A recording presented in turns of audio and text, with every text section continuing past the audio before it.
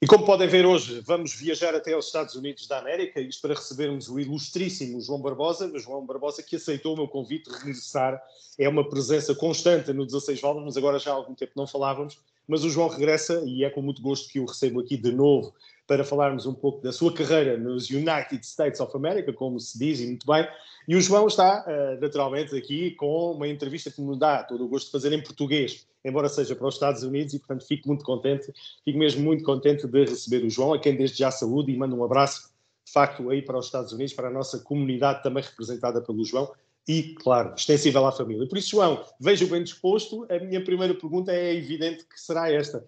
Uh, começou bem a temporada de 2022, para depois já vamos conhecer em detalhe, mas podemos começar por perceber se as coisas estão a correr como tinha de expectativa, porque já houve uma prova, pelo menos, em Daytona.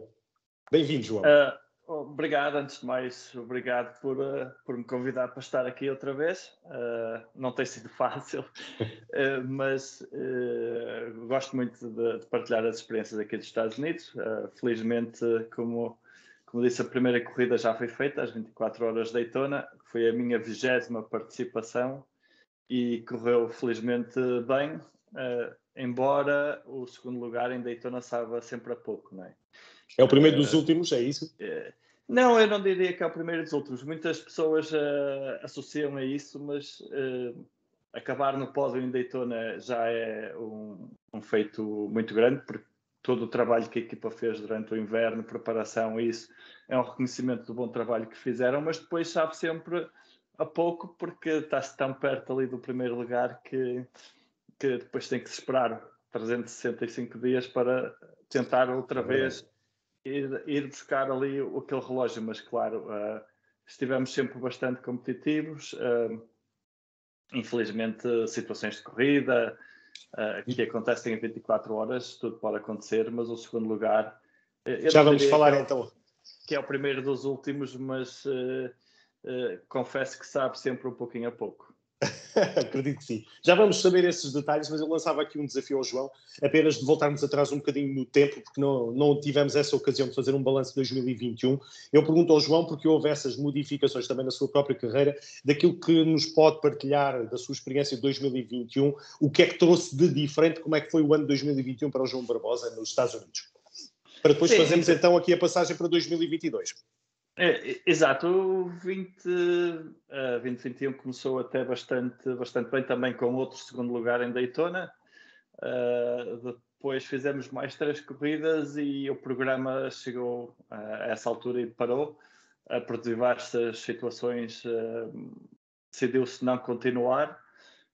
Mas felizmente este ano conseguimos pôr o programa todo de pé outra vez e, e é para fazer o programa completo do IMSA uh, para a, classe LMP3. Uh, ah, estamos, acho um pouquinho melhor preparados do que estávamos o ano passado e isso uh, pode ser bastante bom a, a, a nível do, do, futuro do campeonato, das próximas corridas. Penso que pode ser um, bastante interessante para, para, aquilo que nós, os, para aquilo que são os nossos objetivos durante este ano.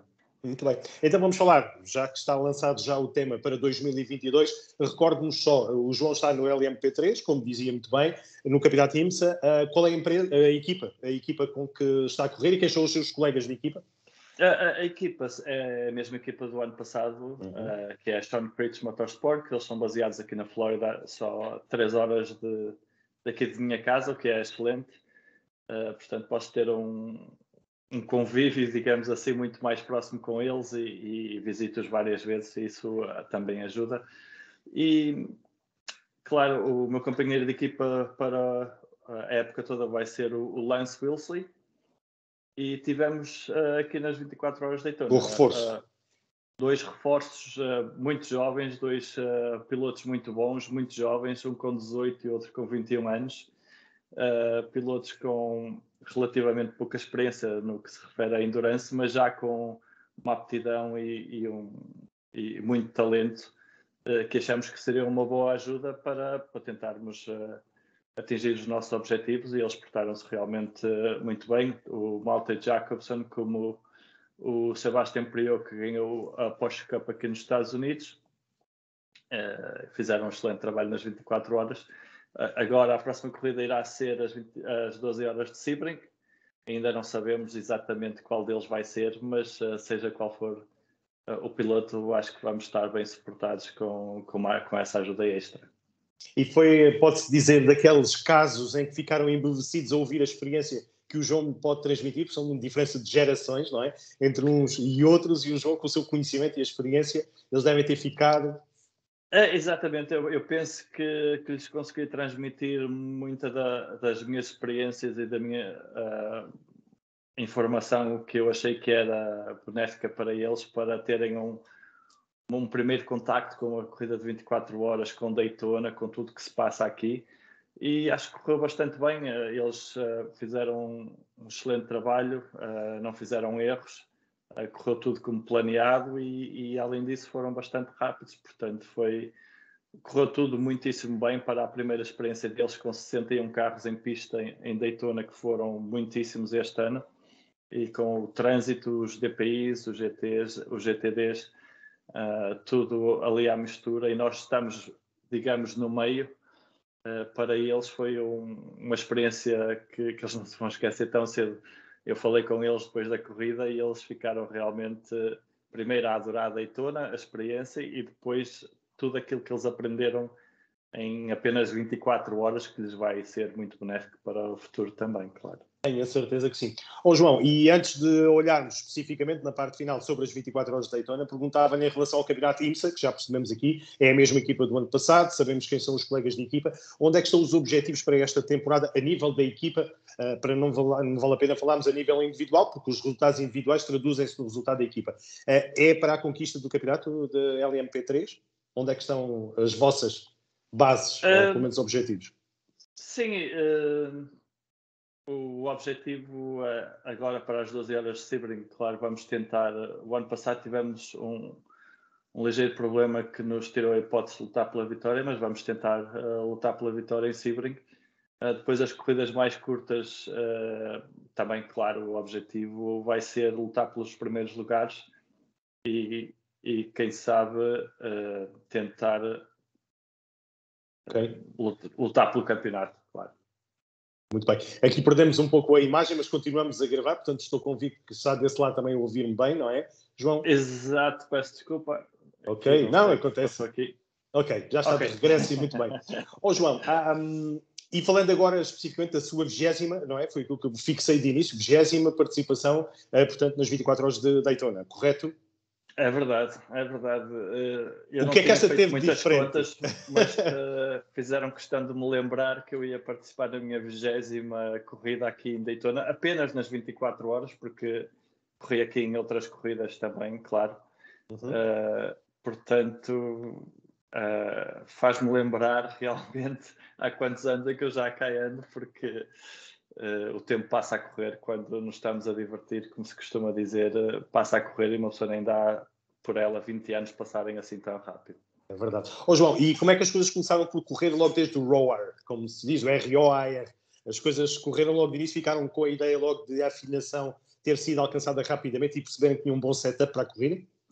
Sempre percebemos que tínhamos um carro competitivo. Infelizmente, as condições meteorológicas não foram as ideais, porque foi um fim de semana tanto no Roar como durante a corrida, em que choveu bastante, estava muitíssimo frio. Uh, tínhamos algumas coisas que achamos que podíamos melhorar, mas infelizmente as condições meteorológicas uh, assim não permitiram, mas foi igual para toda a gente. Uh, apesar de termos um carro competitivo, acho que podíamos ter tentado melhorar um pouquinho mais.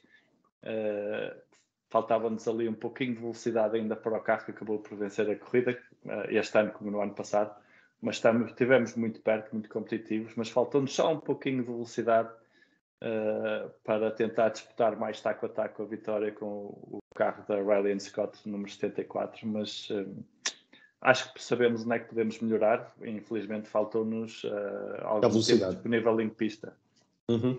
Oh, João, e a nível da sua performance, uh, conseguiu manter sempre um andamento constante desde que entrou para o carro? Teve algumas situações que, que teve mais dificuldade em lidar, como a questão do trânsito, como dizia muito bem, mas com a sua experiência sabe naturalmente como fazê-lo. Mas uh, quer-nos falar um bocadinho do seu, uh, dos seus turnos de condução?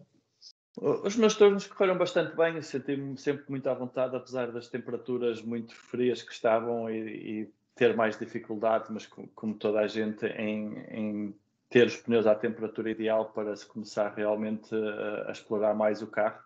Uh, depois há sempre algumas situações uh, mais inesperadas. Uh, tive um contacto com um dos BM GTDs durante um dos meus turnos que infelizmente fui penalizado com um drive-thru, mas que, que, acabou por não nos, não nos penalizar assim muito.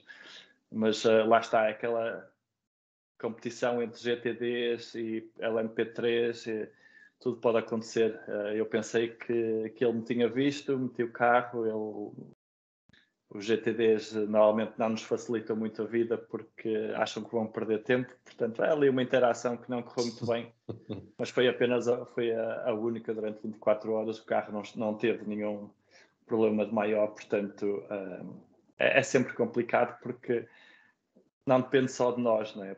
E é isso que claro. temos que ler muito bem em Daytona, é não só aquilo que estamos a fazer, mas aquilo que os outros poderão vir a fazer e tentar estar sempre um ou dois passos à frente de, do acontecimento, que nem sempre acontece, mas são situações de corrida.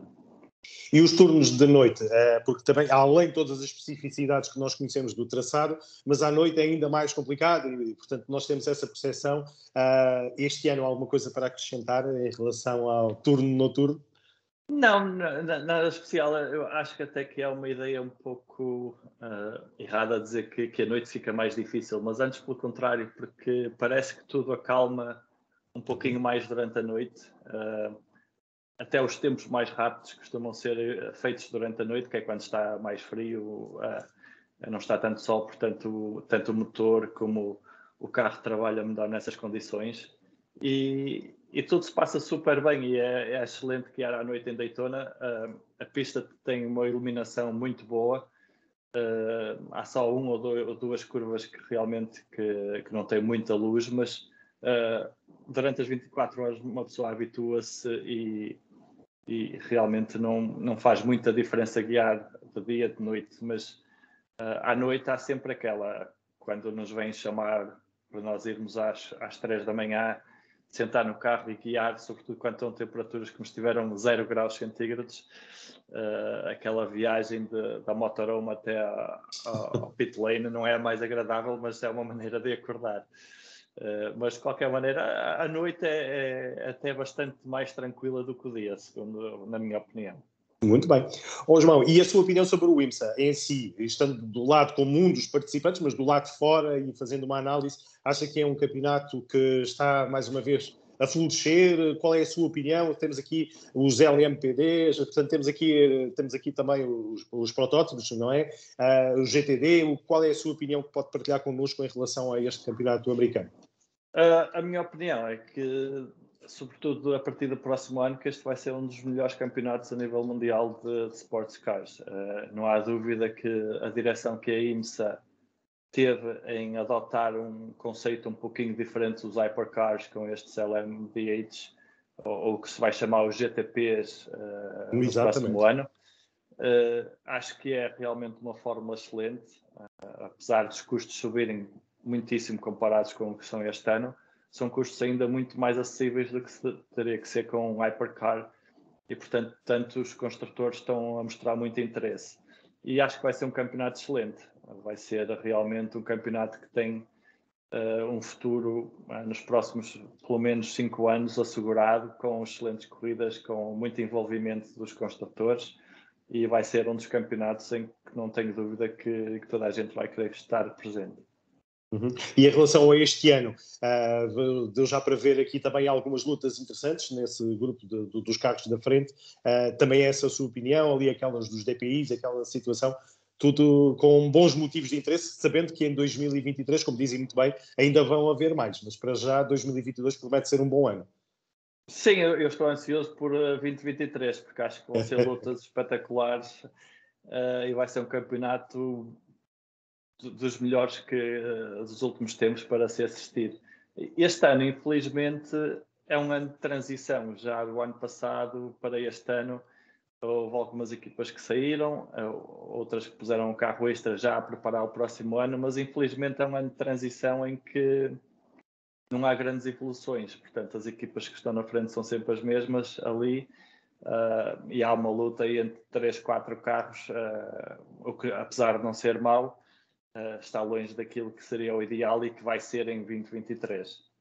Tenho certeza que sim. Teve a ocasião de trocar algumas palavras com o Felipe, Felipe Albuquerque, que era o outro português, eram só vocês os dois? É, exato, sim, mas como neste momento estamos em uh, categorias diferentes, estamos em sítios do paddock diferentes, uh, as pessoas acham que estamos sempre ali todos juntos, mas uh, com as nossas atividades e com os, os horários diferentes de um e do outro, acabamos por não nos encontrarmos assim tantas vezes como isso, mas claro, sempre que, que estivemos juntos, uh, corremos juntos há alguns anos, portanto é sempre uma boa oportunidade, embora ele esteja agora noutra equipa completamente diferente.